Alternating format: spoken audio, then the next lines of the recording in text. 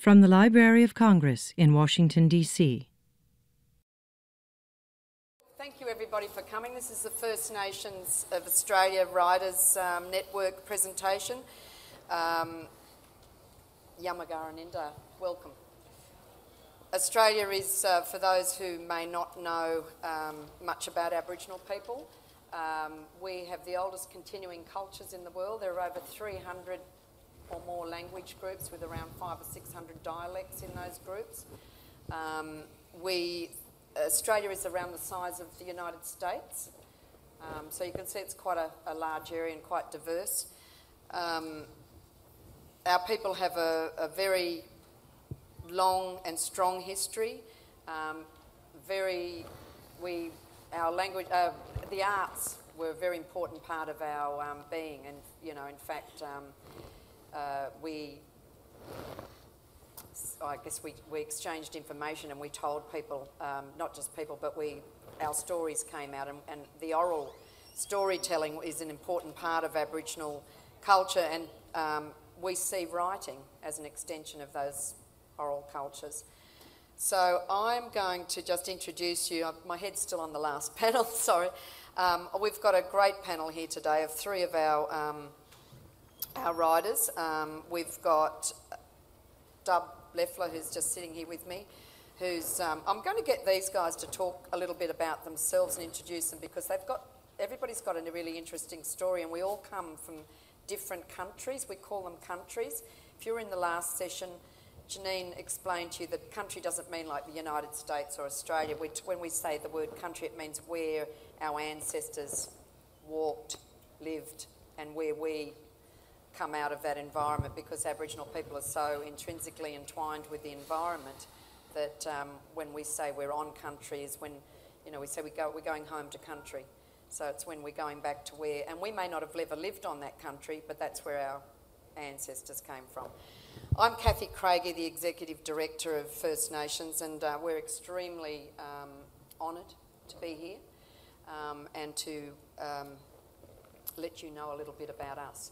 I first off wanted to acknowledge the um, a part of our tradition, and it's actually been enshrined now into um, not only the political system in Australia but public life in Australia. We start everything off with what we call a welcome to country or an acknowledgement of country and we like to still do that when we go anywhere in the world. And that, that acknowledge, I can't do a welcome because this is not my country, but I'm doing acknowledgement, and that's to the First Nations people here um, in America, but particularly around the Washington area. I have a huge list I won't go through. Probably most of you would know these names, Piscataway, um, Mattaponi, Monacan, um, um, I can't pronounce half these names, but just to acknowledge that um, we um, acknowledge their ancestors and thank, um, you know, the ancestors for allowing us to come onto this country. We also, in part of our welcome and acknowledgements, we acknowledge all the elder, older people in the, the room, the grandparents, the aunties and uncles, and um, they are the keepers of the wisdom and they pass that down. So we never ever um, do anything publicly without acknowledging the older people in the room um, because we wouldn't be here apart from that, but also our knowledge and wisdom comes from them. So we'll start off um, getting these three to introduce themselves. Dub, I might get you to just get a quick description of your country, where you come from, um, a little bit about you, and then we'll move on and then come back and talk a little bit about literature and uh, Dub Leffler. Yes. Uh, uh, so before before I do that, I um, can everybody hear me? Can you understand my Australian accent? And if we speak too fast, signal us. so if I say "Girana lebangamungunja," you understand that. You yeah, you're all with me. Okay. So uh, yeah, I I have to honour the the old energy that is here and the, and the true energy and, uh, and the people that uh, in touch are with that energy. And uh, because uh, we, are, we are here mixing with that energy. And if you have the right ear then you can be in touch with that. And uh, so whenever I'm on another person's country, their land, you know, I, I strive to leave the best resonance possible and something that is in accordance with them. And so I, my story is, uh, it's split into two. So I, um, uh, I don't want to take up too much time, I guess. I, I think if we just tell, uh, we'd like to introduce, because I want to show you that we're, we're quite diverse. There is no one generic um, image, look. Um, all Aboriginal people are different. Eh, Culture, one culture from another is different, although we all have common areas. So if you could just introduce yourself and tell us a little bit about the Bigambul people. Yeah, so uh, my name is Dub Leffler. I'm a Capricorn. I like uh, walking in the Walking in the rain and pina the, coladas. um, yeah, I, I uh, so I come from uh, people called Bigambul people, and uh, we are rare people. Um, uh, the, yeah, there was a war that's not often talk, talked about. We, we, we touched on it there, that uh, it was fought for 14 years, and it was between 1840 and 1854. And after that war, and that was with the, the settlers, the, the, the stealers, um, we, there was 100 Bigambul left, and I am descended from that 100. So it is, you know, it is with great honour that I speak for those people. And uh, I can safely say that you will never meet another person uh, of Bigambul descent. Me. Well, other than you know, to to rephrase, that uh, you know we we are that rare, and I'm honoured that uh, everyone here in this room has come to to listen to our, to our story. And yes, I'm an, an author and illustrator of children's books. I've illustrated over um, 20 books and have worked with people such as Colin Thompson, Shaun Tan, and I did a collab- collaboration with uh, a graffiti artist uh, called Banksy. And I, uh, I'm also a musician, filmmaker, um, muralist, uh, and I cook. I cook, uh, and no one's died of my cooking. It's, uh, yeah. Okay, so we'll, we'll get Jared to introduce. Jared Thomas. Yeah. Uh, nei Dr. Jared Thomas, uh, nei Wangaja Nukunawarla, nei Manda uh, Amiwara, uh, uh, nei, nei Manda uh, Wabma Naku. So my name is Dr. Jared Thomas. I'm a Nukunu person uh, from the Nukunu language group. Uh, Nukunu means assassin. Um, so my group of people are the assassins, and uh, we were the people that were given law, whereas our neighbours were given the, the knowledge of environment. Um, our neighbours to the south were given the, the, the knowledge of, of, of the ocean and fishing. Our, our, um, our Ghana neighbours were given the, the knowledge of conference. So we all have different types of uh, range of knowledge. Um, in Nukunu country, it's, we, we have uh, many of the most dangerous snakes in the world. Um, we have many of the most dangerous spiders. We have white pointer sharks. Uh, we have dangerous octopuses. Um, so basically, you need to know your story to survive. Um, the other thing that is very scarce is water, or awi. So a lot of our knowledge relates to, to, to awi, and our major um, ancestor is Wabma. And Wabma is responsible for water. So water beneath the ground, on top of the ground, and in the sky. So when we think of ourselves, we think of ourselves as three elements. Uh, there's ourself as the land, ourself as the body, and ourself as the spirit. And it's all entwined with our knowledge of water. So um, my family's history, so both my parents are, are Aboriginal and European. Um, so my mother's family comes from central Queensland and they're Irish, and my father's family comes from Nukunu and Ngadjuri, which are in southern Australia, and we also have English ancestry.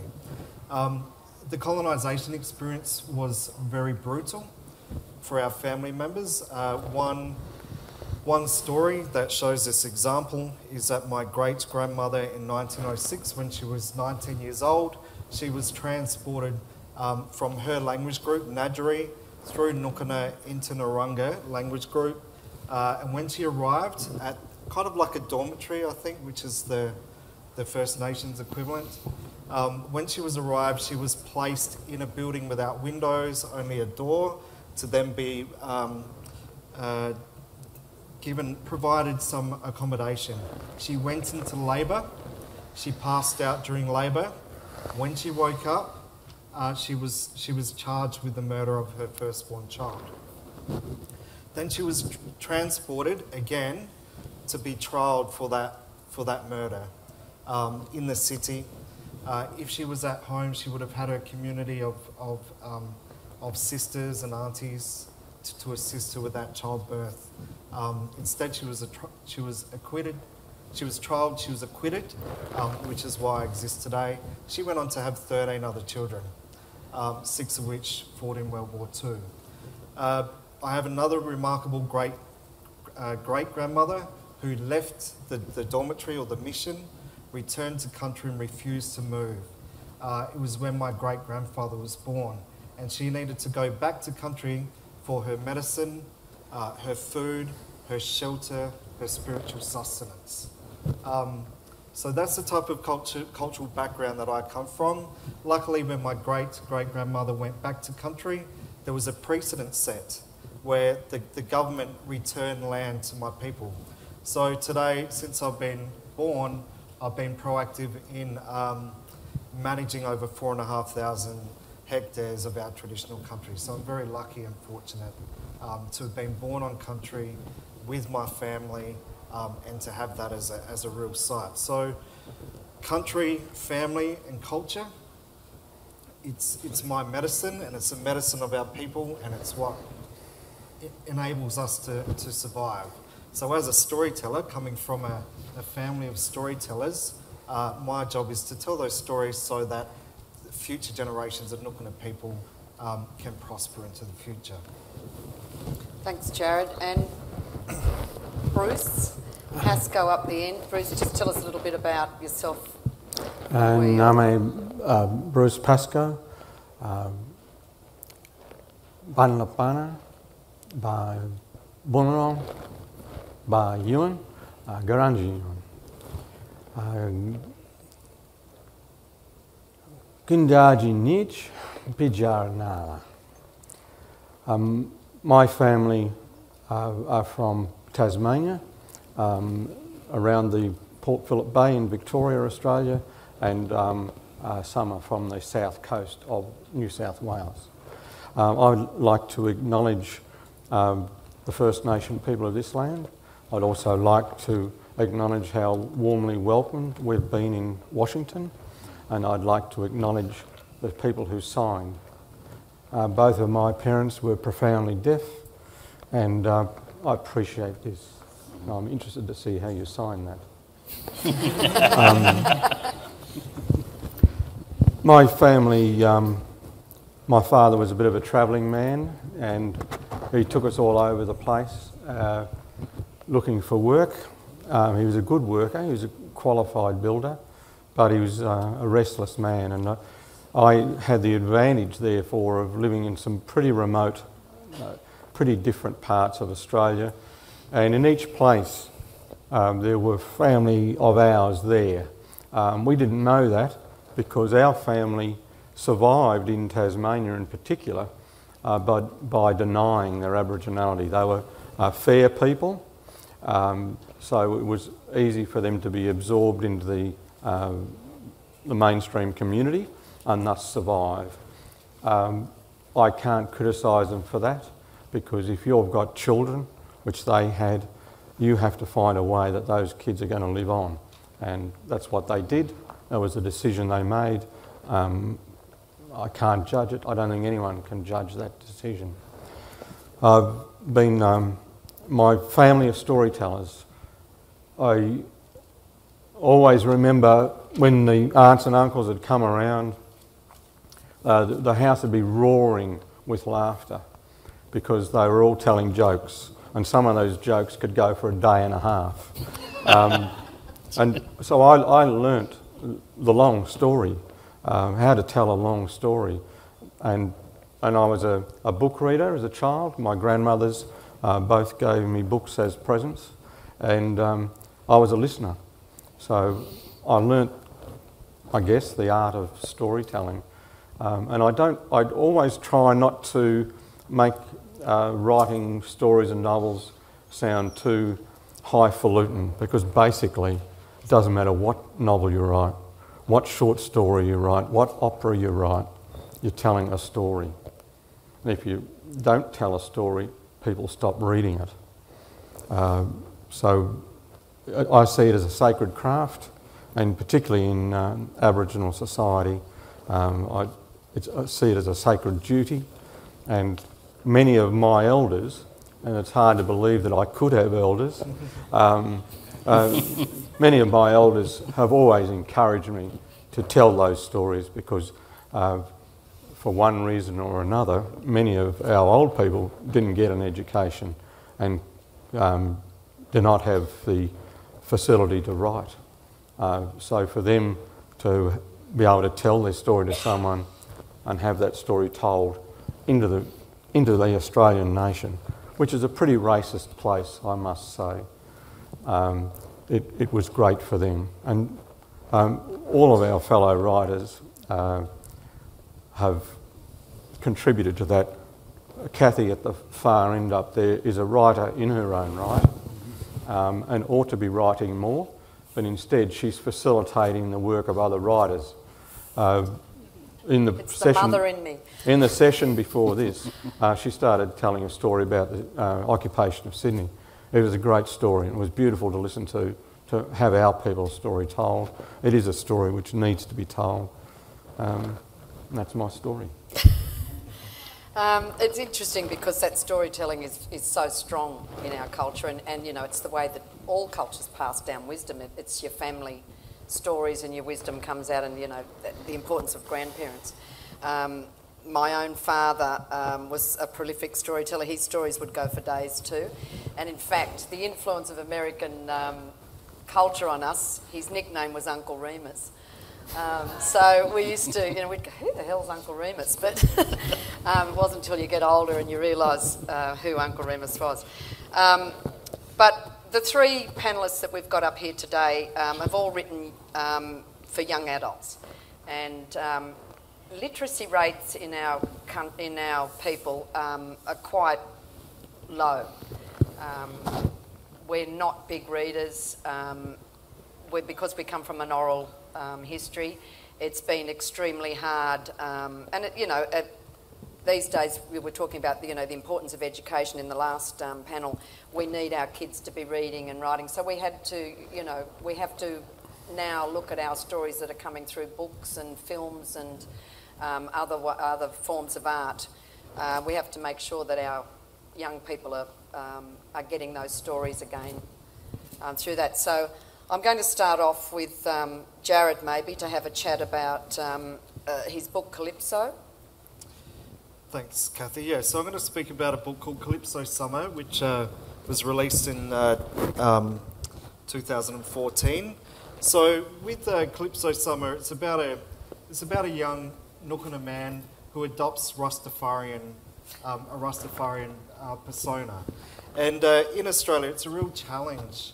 Um, in terms of in terms of young people maintaining culture. So American culture is more readily accessible to some Aboriginal kids than what their own family members are. And when we look at um, when we look at illiteracy, etc. Uh, and so th- the impetus for writing the book was criticism of young Aboriginal people um, being enthusiastic about American hip hop music. And I thought that was quite a con- contradiction coming from Aboriginal elders that really loved Chuck Berry and Little Richard and Fats Domino and Johnny Cash and, and Johnny Cash yeah, yeah, and yeah. yeah, and then the then the kind of next generation that were into Donna Summer, um, and, and then the next generation into Prince and Michael Jackson, etc. So there's always been a black international influence on Aboriginal Australia. And, and lots of that is very positive. And there was a real absence of role models within, within uh, mainstream media in Australia. But what we did have when I was a child was the West Indian cricket team and, and Bob Marley, who was prolific. And um, these, these people become role models to us about how to succeed um, and also fighting uh, political struggles. So Calypso is a young man that, that adopts uh, some of those influences. I just I don't know if Americans know what cricket is. Do you all know? Oh, you Yes. do. Good. Okay. It was 39 degrees. My boss hadn't paid me, and I was too broke to fix my piece of shit 10 speed. A woman in a skirt and bikini, bikini top swung around the corner and quickly sidestepped out of my way. People are always doing that type of thing to me. It's not my dreadlocks that freak people out, it's because I'm black, and I ain't even that black, just black enough for people to notice. I was just cruising home from work.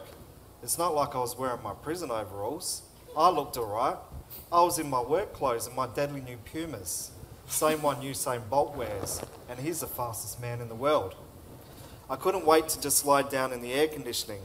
Shane, my next door neighbour's kid, was standing in the driveway smoking a cigarette. The dickhead thinks he's tough.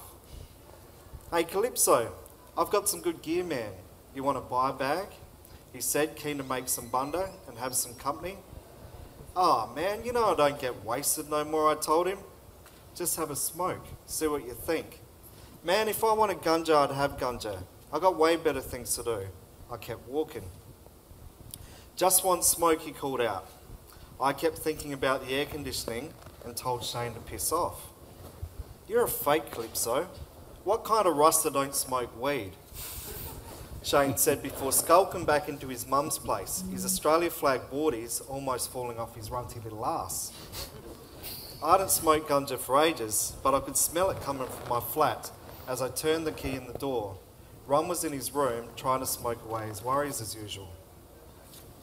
The air conditioning was deadly when it hit me, but it didn't help my mood.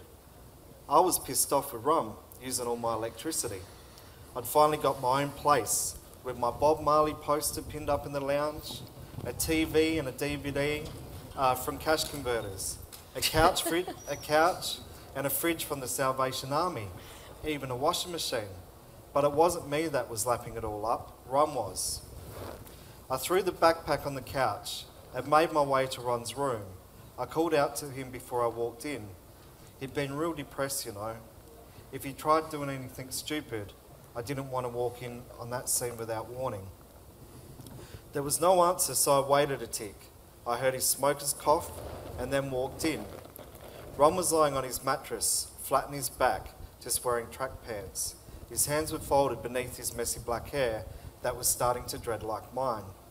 People think me and Ron are brothers, but he's my cousin, and he's shorter and more solid than me anyway. He's also a few years younger. White people shit themselves when they see Ron, because he has these little scars on his face and freaky green cat eyes that make him look wild and suspicious. He's taken so many drugs that you just can't trust him, even when he's smiling. It's like he might just try to flog you at any time, but I also know he can be one of the most solid fellas going. So I'll just leave it there. So that's Calypso's world and um, the contrast with his cousin Ron.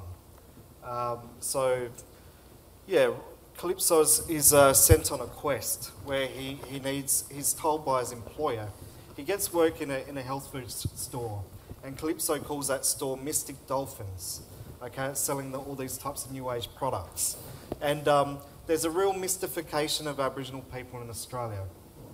And uh, his employ- employer thinks uh, that his, his family are a particular way. And Calypso's quite ashamed that he doesn't know much about his culture. So he's sent back. Um, uh, he, he, he meets with his family, and through, uh, through finding about, out about medicines, um, he comes to find that his family and his culture are his medicine. So it really takes uh, the reader, the non-Indigenous reader, through um, towards an understanding of what my Aboriginal culture actually is. And influences. Thanks, Jared. Um, might go to you, Bruce Pascoe. Um, Bruce won the Prime Minister's Award in 2012. 13. 13, geez, I'm way beyond. Uh, 2013 for uh, his novel, um, his young adult novel called Fog a Dox. Thanks, Kathy. Um, Fog a Dox is about a, a, a, fox that is raised by a dog, um, and thus the, the fox thinks it's a dox. Uh, I, I wrote this book for myself. Uh, I had a few stories that I, I wanted to tell, and they were precious to me because they were all family stories. I didn't. I had no expectation. I've written 30 books, 29 books. I'm lying again. Um, 29 books, and um, I thought of all the books, this would be the last one to be published uh, because it was um, a kind of an indulgence. My wife has a story about horses, um, writing uh, a life and death story about horses riding through uh, the alpine country in, in uh, Australia. My daughter uh, was an oncology nurse and she lost a lot of patients. Uh, she wasn't very good. Oh, no, no, I'm just gambling. Um, but there, there, were a lot of deaths. She was only a kid. She was 18, 19. So she was ringing me um, and ostensibly uh, talking about when she was going to come and see me and all that sort of stuff. But really, what she was saying was, I've lost another patient. You know, talk me through it. So she told me these fabulous stories about these brave little children, um, how they battled on and how they lost. Some of them succeeded, but a lot of them lost. And um, I always thought, gee, I'd, lo- I'd love to tell that story. Well, I had nowhere to, nowhere to tell it. I'd love to tell my wife's story. I'd love to tell the story of how when I was about 27 and uh, I'd been playing a lot of football, so I was surrounded by uh, tough, rough men. Um, mostly good people, because 90% of people are mostly good. Um, they were good people, but they were tough people. And I was, I went down to the country, which I, um, uh, I found a, a place which resonated with me, and I, I found out later on that that is actually my country, my people's country, part of it. And I met some old men, old Aboriginal men in the bush, they were timber cutters a lot of Aboriginal people used to be involved in forestry work um, in those days. And these old guys lived in the bush in houses they'd made themselves out of the, out of the, product, the waste product from the timber felling. And, um, but they were the most gentle men I'd ever seen. And they, they were also the strongest men I'd ever seen, the toughest, most resilient people I'd ever seen. And yet they were so gentle. They went out of their way to have birds living in their house owls and little finches and scrub wrens be in and out of their house all the day. And they would coo and bill. These old men would coo and bill to these birds in language. I thought they were the sweetest old fellows I'd ever met. And I thought, how can I ever tell that story?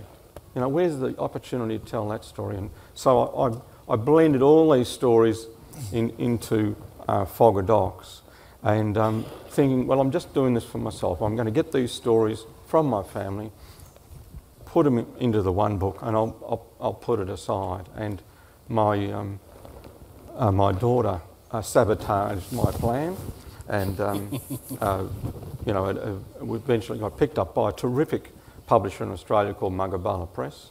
Um, I had a terrific editor there. In fact, I've been published by Penguin Books. Um, I, I, some international presses. And Magabala sells 15% less books than Penguin does, but I'm prepared to wear that loss because to work with Aboriginal editors, um, Aboriginal booksellers, um, Aboriginal um, publicists, it's, it's a joy and a huge relief because I don't have to explain my culture every five minutes of the day. If I write something about culture, in a book, I don't get grilled about it. In an, another novel I wrote called Bloke, which was published by one of the world's biggest publishers, um, there's a section in there where an old lady uh, talks politics. And I was told by the editor that that's impossible. An old, uneducated woman could not talk like that. Um, and I can assure you that that two pages of, um, in Fog a Dox, in um, Bloke, um, is word for word, absolute ridgy ditch. Um, and I'm almost, I've got a little bit of time to read a, a short have? piece? You have? Good on you, Kath. Look at me, and when I go like that, yeah, stop. yeah. so the secret is don't look at her. and this is um, from toward the end of the, this novel. It's about a little sick girl um, in hospital with cancer. She's not um, in very good shape at all, but she's uh, she wants to know about birds. She wants to know about the bush, and so she's been given this opportunity by these old gentlemen. And yet she was thrilled with the things a child would be thrilled by the beauty of birds and animals, the hectic glory of the country. To be thrilled was to be alive, and she was thrilled. Albert was saved from further questioning by catching two lovely perch and a blackfish. Tiger put them in the coals of the fire and told Colin to take Dave and Maria to get some yabbies. This is a big extended Aboriginal family. They're all down on the riverbank fishing and eating. Colin rowed them in silence across the river while the rainbow birds stitched threads of vibrant colour about them. Look, Colin said at last, look, there's Bunjil looking at us, eagle. Maria looked where he pointed, and there was a wedge tailed eagle weaving great lazy circles in the sky. That's our spirit bird. When we see him, everything's all right. Everything, Maria thought to herself, but couldn't help admiring the huge bird wheeling giant circles around the sun. And on the other side of the river, they pulled in the yabby pots and tipped the catch into a bucket. Fog peered into the bucket with obvious distaste for such spiky, clawy, scratchy looking things. But they tasted terrific. Tiger, Tiger tipped them into a kerosene tin of boiling water, and soon they were eating a meal of fish and yabbies, fresh damper, with, while the orioles and shrike thrushes called about them. The shrike thrush entered the camp, his head tipped to one side inquiringly while keeping an eye on the dog and the fox. Albert tipped the bird some crumbs of damper. Yaran, we call that one. He's a good bird. Lovely to have one around the camp, you know. He's a good friend of our people. He'll sing for us later. He's got a beautiful voice. They drank more tea and dozed in the sun, mesmerised by the fragrant smoke from the red gum wood, deeply satisfied by the food they'd eaten. Queenie Bess was already asleep with her head on Dave's boot, while Fog and Brim were like bookends against the frail little girl. I'm going to remember this forever, Maria said to herself, and she did. You didn't see my signal. I wasn't looking, sis. Uh, Bruce used a couple of um, Australian terms there, so I thought I'd better let you know. He used the word damper. It's a traditional Aboriginal bread that's cooked in the coals. Um, these days we cook it in the oven, but um, traditionally it was cooked in the coals. He also talked about playing footy. I know you can't imagine it, but he did. And he played Aust- what they call Australian rules. Um, and Australian rules um, is based or uh, is derived, originates from an, an Aboriginal game called Marngrook, and it's um, the most popular football code in Australia. I shouldn't say that because I'm from up north. Yeah, well, Richmond won yesterday. Richmond beat North Melbourne. And we have warned him I hope not to you wear his appreciate that. colours into, um, into, onto the panels. um, and okay, so now we've got um, Dub. Have you? Do you want to do a bit of a reading and have a chat? We call Dub our, um, well, I call Dub our romantic. Thanks. I, I call He's him always my, giving love out. I call him tech support because he helps me with my computer. Oh, that's that's love. I've been called worse. I, uh, yes, a few years ago, uh, with the same publisher, Magabala, uh, who punch above their weight, I, uh, I wrote and illustrated this book, uh, Once There Was a Boy. Um, now, do you, do you want to hear some, some of the story first and then the story, or do you want to hear the story? I reckon hear the story because then it'll give them. I'm, Uh, I'm, I'm ordering you to do the story. Let's see. Yes, And just before he starts, Thanks, Mum. the three of these writers are published by Magabala Books. It's an Aboriginal publishing house. It's the most remote publishing house in um, the world. It's up in a, a place that I call paradise, Broome. Um, and um, they have been, uh, how old are they now? About 25? 25 Yes, years. yeah. And they've been producing all these stories. They set themselves up to preserve Aboriginal stories of the Kimberley area in Australia, but they now take on, um, you know, lots of other creative writing from around Australia. Yeah, so I, uh, hmm. yeah, I we, we talk about uh, the stolen generations. Do you guys know about the stolen generation? If A little bit. Rabbit Proof A little Fence bit. or Rabbit proof is a good starting point. I, uh, I'm one step removed, as in I, I was adopted out by my mum, and uh, from day dot, which happens to be uh, the first of January. So there's always a big party on my birthday, and I, uh, yeah, spent 62 days in hospital, and uh, they'd actually given me, I was there so long they gave me another name. My name was Joshua. And the nurses wanted to keep me apparently. And then I was adopted out on March 3rd. And so I grew up with a, um, uh, with a uh, white Australian family. And they're still my family. They are, they're my family. And so I, I, I grew up without culture. And so when you, you, you, you don't have anything, uh, you know, you value it more when you can see it from a distance. So I, um, but that didn't stop me from hanging around other Aboriginal people, and um, that was always uh, prevalent in my life. And uh, I ended up meeting my family when I was 25, uh, which uh, yeah, changed. And w- Kathy and I were just talking. We've been talking the last couple of days, and we, I'd say, we are related. we've discovered that we've probably got common parents. unfortunately, My And- and- grandparents raised raised a family that were his uncles and aunties. Yeah, quite yeah, very close ties, and uh, so you know, I I've so I've seen uh, both worlds, and uh, and I, I you- know you sometimes willingly, sometimes unwillingly, you are forced to live in those worlds, and I, I I've met a lot of other Aboriginal adoptees, and our story is always different, and uh, so I. Um, so for five years I started working on this book, and so there's there's it's a on a simple level it's for children, and um, you know there's truth in here, and it's about friendship and ownership, and uh, and dealing with consequence, and there's also there's, polit- there's the, the politics that um, adults can see. And um, that way, you know, the, uh, all ages can get something out of the book. So, would you guys like to hear a little? Uh, you usually get the audience to do sound effects. So- Dub also illustrated this book. Um,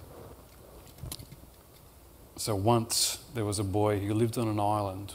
He lived there all by himself.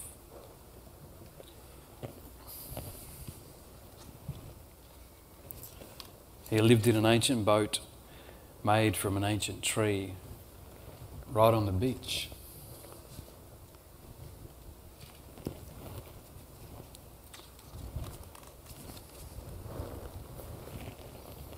Who can do the sound of wind? You're a fantastic crowd. You've done this before, I can tell. Every morning he got up and picked fruit His favourite fruit was called sapote, and it tasted just like chocolate. Have you guys heard of sapote? It's, I think it's, it's in, in Mexico, and uh, I think they spell it with a Z, a Z, and it does taste like chocolate. They're actually growing in my backyard. He loved climbing in the mangrove trees and watching the sunlight up the sea. Can anyone do the sound of sun? I'm doing it, Doc. just, show off you.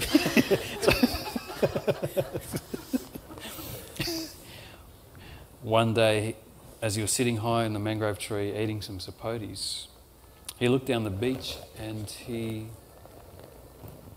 saw something moving. A little, a little speck coming closer and closer down the beach. Someone else here on the island. Hello, came a little voice.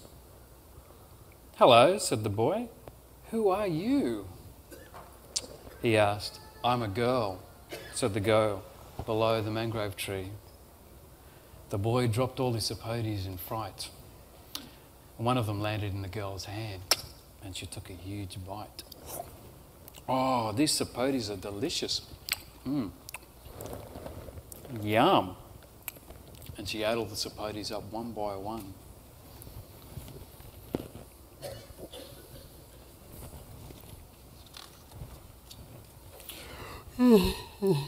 Eating all that fruit has made me sleepy. Can I, can I sleep up there?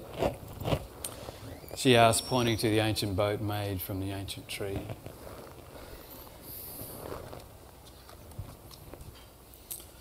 Before the boy could answer, the girl had climbed up and fallen fast asleep in his softest hammock. Hmm, he thought, watching her sleep. He watched her as it became dark. He watched her all through the night. He wondered what would happen in the morning. Would she stay? Before first light, he crept out. Who can do the sound of crickets? Bruce.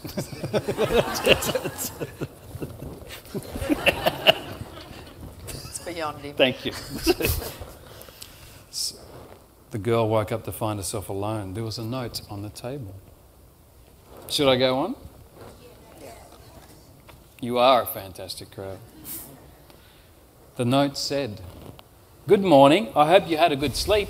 I've gone to the other side of the island to get some more sapotes for breakfast. I'll be back soon. Make yourself at home. P.S. Don't look under my bed. Shall I continue? Yes, because we all know Right, that a woman right, wouldn't right. be able to stand that. The girl's imagination started jumping up and down. What could be under his bed? No, no, I must, I must not look. I must not look. Not even a tiny little peek, she thought. Hmm. Soon she found herself kneeling down under the boy's bed. There, tucked away up in the dark, was an old box. It was a strange box. It was small and was made from wood. The girl touched it and then she pulled it out from under the bed.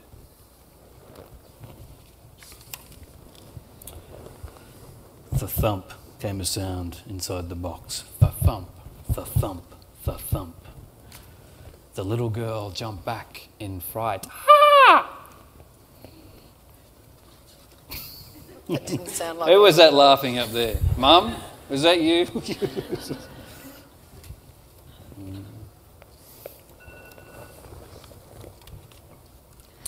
she, she jumped on the box and then it unlocked. The girl's eyes opened wide, for there inside there was a heart and it was beating. Oh, okay. getting the signal. The thump, the thump, the thump went the heart, the thump. I've never been this close to a boy's heart before. She, she thought. She decided to pick it up. And as the girl held the boy's heart in her hands, the boy came bursting through the door, saying, Good morning! Startled, she dropped it and broke it. So I'll stop there.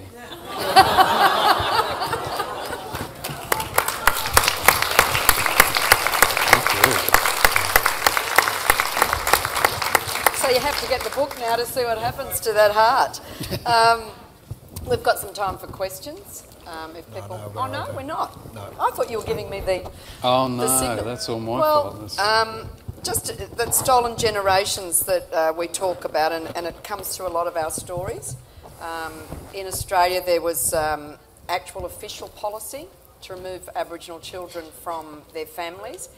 Um, it didn't just happen in a period of time, it actually started uh, within the first 15, 20 years of, of um, colonisation in Australia.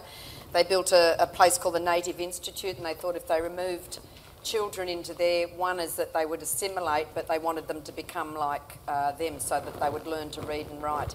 And there are some fantastic stories of, of survival out of those, those things. And then you saw, of course, um, the rabbit proof fence, which is another uh, ex- experience of stolen generation. But um, when it was at its peak, one in three Aboriginal children were removed from their families, and um, it's been an ongoing battle um, of between a conflict that was there between Aboriginal people and non-Aboriginal people because it was not acknowledged.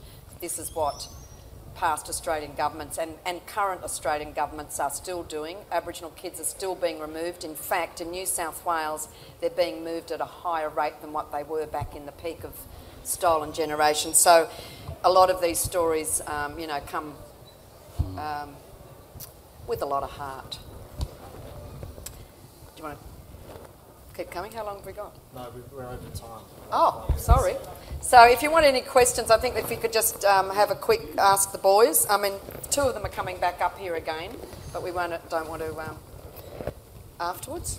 Do you want to mingle or talk? So thanks for coming, and we'll just let you do that so we're not running over time. This has been a presentation of the Library of Congress. Visit us at loc.gov.